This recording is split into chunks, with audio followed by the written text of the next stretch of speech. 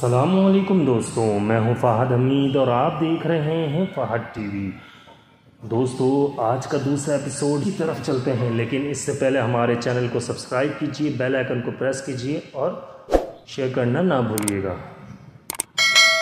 वागदी कहते हैं कि ये ख़बर बाज़ नसरानी अरबों के ज़रिए जो मदीना तय्यबा में रहते थे हरकुल बाश रूम को पहुँची तो उसने अरकान दौलत को जमा करके कहा कि, ए बनी असवर तुम खूब समझ लो कि तुम्हारी दौलत व हशमत बर्बाद और ख़ुद तुम हलाकत के करीब आ गए हो। जब तक तुम अपने दीन के अहकाम के पाबंद और हदूदुल्ला पर जो इंजील मुक़दस में बताए गए थे कायम रहे। इस वक्त तक दुनिया के जिस बादशाह ने भी तुम पर और तुम्हारे मुल्क शाम पर लड़ाई का कसद किया, वो मगलूब और तुम उस पर गालिब होते रहे। तुम्हें याद है, कसरा बिन हंस ने फ़ारस के लश्कर के साथ तुम पर चढ़ाई की थी, मगर उल्टे पाँव भागा था। तुर्कों ने तुम पर फौज कशी की थी, मगर हजीमत उठाई थी। कौम जरामखा चढ़ कर आई थी, उसे तुमने भगा दिया था। अब तुमने अहकाम दीन ने तकदीर तब्दील कर लिया। जुल्म अख्तियार कर लिया, जिसकी वजह से तुम लोग खुदा के मुजरिम बन गए। इस पादाश में खुदा बंद ताला ने तुम पर आज एक ऐसी कौम को मुसलत कर दिया, जो कभी किसी शुमार कतार में भी ना थी। इससे ज़्यादा कोई कौम ज़यीफ़ ना थी, जिसकी तरफ़ से हमारे दिलों में कभी कोई ख्याल तक नहीं गुजरता था कि ये हमारे साथ, हमारे मुल्क पर हमसे कभी लड़ेंगे। यही दरअसल इनको कहत और भूख ने यहाँ पहुँचाया। उनके पैगंबर के खलीफा ने उन्हें यहाँ तक भेजा है और हमारे मुल्क हमसे छीन कर हमें यहाँ से निकाल दें। इसके बाद हर कुल ने जो कुछ जासूसों के ज़रिए सुना और मालूम किया था, सब इनके सामने बयान किया, जिसके जवाब में अरकान दौलत ने एक ज़बान होकर कहा, आप हमें इनके मुकाबले के लिए रवाना कर दीजिए। वो अपनी मुराद में कमी कभी भी कामयाब नहीं हो सकते।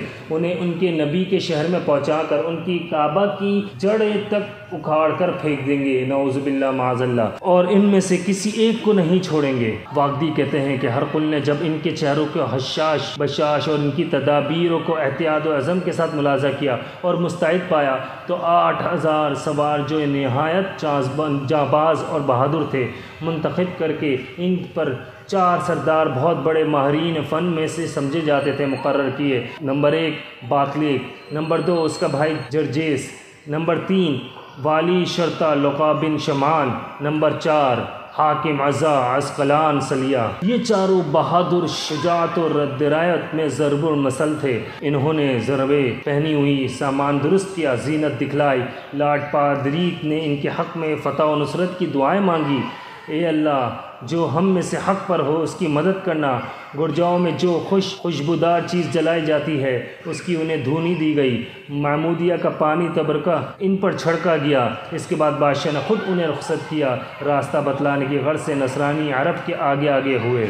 वागदी फरमाते हैं कि यासिर बिन हसीन का बयान है कि हज़रत यसीद बिन अबी सुफियान रज़ी अल्लाह रूमी लश्कर किससे कबल तीन रोज़ा कबल माँ अपनी फ़ौज के मकाम तब वक्त तक पहुँचे। चौथे रोज़ हाब रसूलुल्लाह सल्लल्लाहु अलैहि वसल्लम का इरादा था कि आगे बढ़े और दूर से उन्हें गिरद उड़ती हुई दिखलाई दी। ये देख कर मुसलमान होशियार हो गए। हज़रत बिन अबी सुफियान नजिल ने एक हज़ार लश्कर रबिया बिन आमिर की सरगर्दी में देकर एक कमीन गाह में छुपा दिया। एक हज़ार को लेकर सामने हो गए। लड़ाई के लिए सफ़े मरतब की चंद नसाइब बयान किए। खुदा बंद की नमतों का ज़िक्र किया और फरमाया, याद रखो खुदा बंद ताला, जल्ल जलाल ने तुमसे मदद का वादा किया है।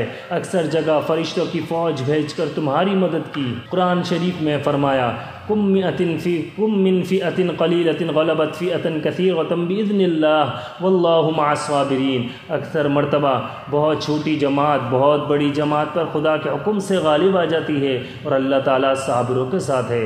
हमारे आका मौला जनाब रसूल अलैहि वसल्लम फरमा गए अलजन्नत तहत तलातुलसऊफ़ कि जन्नत तलवारों के साय तले है। बहादुर इन इस्लाम में से सबसे पहले सबसे पहले लश्कर जो शाम में जिहाद के लिए बनी असवर के मुकाबले पर आया है, वो तुम्हारा ही है। अब जो मुसलमानों के लश्कर तुमसे आकर मिलेंगे, इसके असल शुमार तुम ही होगे। दूसरे लश्कर महाज मिलने वाले या ममदूर मुआवन होंगे। तुम्हें भी चाहिए कि तुम वही करके दिखलाओ जो तुम्हारी तरफ़ से मुसलमानों का गुमान है। दुश्मन तुम्हारा मुकाबले पर है, इसलिए एहतियात रखो कि वो तुम्हारे कत्ल की उम्मीद करे, तुम खुदा बंद ताली की मदद, बारी ताली तुम्हारी मदद फरमाएँगे। यजीद बिन अभी सुफियान अभी नसाई कर ही रहे थे कि सामने से रोमियो की फ़ौज के पेश और इनके पीछे खूब फ़ौज पहुँच गई। अरबों को कम देखकर समझे कि बस इतनी ही फ़ौज है और अपनी ज़बान में नहायत करख्त आवाज़ के साथ आपस में कहने लगे, जो तुम्हारे मुल्क पर कब्ज़ा करे, हरमत की पर्दा दरी करे, तुम्हारे को बादशाहों को कत्ल के इरादे से आए हैं। घेर लो। स्लिप से मदद चाहो, ताकि वो तुम्हें मदद दे और एकदम हमला कर दिया। असहाब रसूलुल्लाह सल्लल्लाहु अलैहि वसल्लम ने हिम्मत और ज़रूरत के साथ हमले का जवाब दिया। लड़ाई शुरू हो गई। देर तक लड़ाई रही। रूमी अपनी कसरत की वजह से गालिब आ गए। उन्होंने समझ लिया कि हमने मुसलमानों पर कब्ज़ा कर लिया है। अचानक रबिया बिन आमिर रज़ी अल्लाह तु अपने फ़ौज के तकबीर के नारे लगाते हुए अपने आका मौला सैदुलबशर जनाब रसूल अलैहि वसल्लम पर ज़ोर ज़ोर से दरूद पढ़ते हुए, अरबी अरबी घोड़ों पर सवार, बादल की तरह गरजते हुए नमदार हुए आपने इस ज़ोर से हमला किया कि तोहद का इल्म लहराने लगा। रोमियो ने जिस वक्त इस कमीन गाह से आने वाले लश्कर को देखा तो इनकी हिम्मतें टूट गई। इनके दिलों में खुदा वंद ताला ने ऐसा रौब डाल दिया कि इनके पैर उखड़ गए और वो भाग पड़े। रबिया बिन आमिर रज़ी अल्लाह तु की नज़र बतालिब पर पड़ी, जो अपने लश्करों को लड़ाई की तरगीब और तहरीस दिलाकर, उन्हें जंग पर आमादा कर रहा था। आपने कयाफा से मालूम किया कि सालार लश्कर मालूम होता है। ये सोचकर आपने नहायत बहादुरी और दिलेरी के साथ एक ऐसा नज़ा मारा कि इसके तमाम पहलुओं को चीरता हुआ दूसरी तरफ़ निकल गया। बतालिक बेहोश होकर गिर पड़ा। रोमियो ने जब इसकी हालत देखी तो बेतहाशा भाग खड़े हुए। और मैदान गुलामान रसूलुल्लाह सल्लल्लाहु अलैहि वसल्लम के हाथ रहा।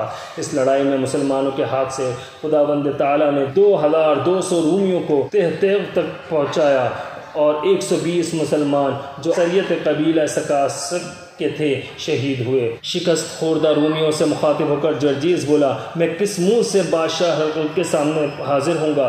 सख्त अफसोस की बात यह है कि मुसलमानों की थोड़ी सी फौज ने किस दिलेरी और बहादुरी के साथ हमारे बड़े बड़े सुरमाओं को तलवार के घाट उतार दिया। हमारी खून से ज़मीन रंग दी, लाशों के तोदे लगा दिए हैं। मैं इस वक्त तक नहीं लौट सकता, जब तक कि भाई का बदला ना लूँ, या मैं भी उसी से जा मिलूँ। रूमी ये सुनकर एक दूसरे को सर्जिश और मलामत करने लगे। शर्मिंदगी को दूर करने के लिए फिर लौटे एक जगह खेमा नसब करके सामान दुरुस्त किया, लड़ाई का नहायत ज़ोर के साथ अहतमाम किया। जब रूमी सब सामान दुरुस्त और पड़ाव को नहायत मस्तहकम व मज़बूत कर चुके। एक नसरानी अरब को, जिसका नाम कदा बिन वासला था, बुलाकर कहा कि, तू मुसलमानों के लश्कर में से इनसे जाकर कह कि वो अपने लश्कर में से एक ज़ैरत अक्लमंद और तजुर्बाकार को हमारे पास भेज दे, ताकि हम इससे दरियाफ़त करें कि वो यहाँ आने से क्या मकसद रखते हैं। कदा बिन वायला एक तेज़ सब रूप घड़ घोड़े पर सवार होकर मुसलमानों के लश्कर में आया। कबीला वह से कि चंद शख्सों ने अपने लश्कर की तरफ़ एक अजनबी को आते देख कर दरियाफ़्त किया यह आने से क्या गर्ज़ है? अदा ने जवाब दिया, मुल्की मामला और आपके यहाँ आने का मकसद दरियाफ़्त करने से गर्ज़, हमारे सरदार लश्कर आपके एक अक्लमंद और तजुर्बाकार शख्स को बुलाता है। हज़रत रबिया बिन आमिर रज़ी ने कहा कि मैं जाऊँगा। यजीद बिन अबी सुफियान ने फरमाया, रबिया, तुम्हारा वहाँ जाना मुनासिब नहीं है, क्योंकि तुमने कल की लड़ाई में इनके बड़े अहदेदार को कत्ल किया था। आपने कहा, बारी ताला कुरान शरीफ में फरमाते हैं उल्लसीबना इल्लामा कतबल्लाना हुआ मौलाना। यानी ये रसूल, आप कह दीजिए कि हमें कोई मुसीबत नहीं पहुँचती, मगर वही खुदा वंद ताला ने हमारे लिए जो लिख दी है, वही खुदा वंद ताला हमारे साथ है। नेज़ मैं और आप तमाम मुसलमानों को इसकी नसीहत करता हूँ। कि आप हजरात की तवज्जो तमाम तवज्जो मेरी तरफ़ रहे। अगर रूमी मेरे साथ कोई बेवफा या फरीबकारी करे, इस वजह से मैं इन पर हमला आवर हो जाऊँ तो तुम भी इन पर मान हमला कर दो। ये कहकर आप घोड़े पर सवार हुए। तमाम मुसलमानों को सलाम करके दुश्मन की तरफ़ तल चल दिए। जिस वक्त आप हरीब के खेमों के करीब पहुँचे कदा बिन वायला ने कहा, बादशाह के लश्कर की तज़ीम कीजिए और घोड़े से उतर लीजिए। आपने फरमाया, मैं ऐसा शख्स नहीं हूँ। इज़्ज़त छोड़कर ज़िल्लत इख्तियार करूँ, ये कभी नहीं हो सकता। अपना घोड़ा किसी दूसरे के सबुत कर दूँ। मैं सिवाय खेमे के दरवाज़े के और किसी जगह नहीं उतरूँगा। अगर आपको ये मंजूर नहीं है तो मैं लड़ने जाता हूँ, क्योंकि आप लोगों ने ही हमें बुलाया है। हमने आपके पास किस तरह, किसी तरह का पैगाम नहीं भेजा। कदा बिन वालिया ने तमाम कस्ता रोमियों से जाकर बयान किया। इन्होंने आपस में मुशावरत की और कहा, ये अरबी लोग कौल के बहुत पक्के और बात के बहुत सच्चे होते हैं। जिस तरह वो आना चाहे आने दो, चुनाचे आपने इसी तरह घोल पर घोड़े पर सवार खैमा तक तशरीफ़ ले गए। खैमा के करीब पहुंचकर घोड़े से उतरे। घोड़े की बाग हाथ में थामे हुए ज़मीन पर दो जानों बैठ गए। जर्जेस ने कहा बरदर अरबी, तुम हमारे नज़दीक बहुत ही कमज़ोर थे। हमारे दिल में कभी इसका शुभ भी ना गुजरता था कि तुम हमसे किसी वक्त लड़ोगे और हम पर कभी चढ़ के आओगे। अब तुम हमसे क्या चाहते हो? आपने फरमाया, हमारी ख्वाहिश है कि तुम हमारा दीन कबूल कर लो और जो कलमा हम पढ़ते हैं, तुम भी वह पढ़ो। अगर ये मंजूर नहीं है तो हमें जजिया दिया करो। अगर इसमें भी किसी तरह का पसो पेश है तो याद रखो, तलवार सबसे अच्छा फ़ैसला करती है। जजेस ने कहा, इसमें क्या हर्ज है? इसमें कौन सा अमर माने हैं? तुम मुल्क फ़ारस पे चढ़ाई करो और हमसे सलाह दोस्ती रखो। आपने फरमाया, मुल्क फ़ारस की नस्बत, चूँकि हमारा तुम्हारा मुल्क हमसे करीब है और खुदा बंद ताली का हुक्महाकिमीन ने हमें यह हुक्म दिया है क़ातिलदीन यलूनकुम मिनल कुफ़ार वलजिदूफ़ी कुम गलवा। यानी जो कुफ़ार तुमसे करीब है, इनसे लड़ो और चाहे वो तुमसे ज़्यादा कवी पाए। चर्जिस ने कहा कि ये क्या तुम पर कोई किताब नाजिल हुई है? आपने फरमाया हाँ तुम्हारे नबी पर इंजील मुक़दस नाजिल हुई थी। इसी तरह हमारे नबी सल्लल्लाहु अलैहि वसल्लम पर कुरान पाक नाजिल हुआ है। उसने कहा यह हो सकता है कि तुम हमसे इस शर्त पर सलाह कर लो।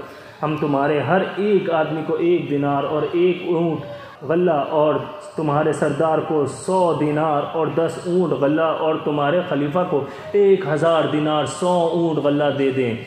और आप हम, हमारे और आपके दरमियान सुलहनामा इस मजमून का मरतब हो जाए कि ना तुम हमसे कभी लड़ो और ना तो हम तुमसे कभी जंग जो हो।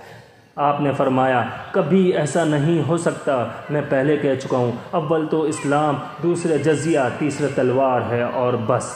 उसने कहा, हमसे ये तो कभी नहीं हो सकता। मज़हब तब्दील करके मुसलमान हो जाए, क्योंकि हम अपने दीन से बेहतर किसी मज़हब को नहीं देखते।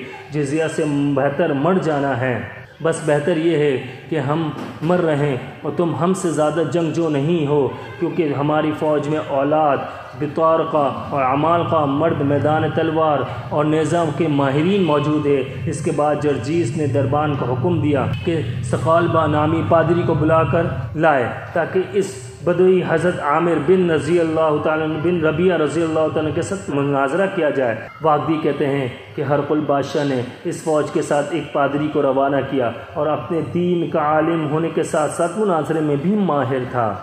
दोस्तों, ये था आज का हमारा दूसरा एपिसोड। तीसरा एपिसोड देखने के लिए हमारे चैनल को सब्सक्राइब कीजिए, बेल आइकन को प्रेस कीजिए और शेयर करना ना भूलिएगा।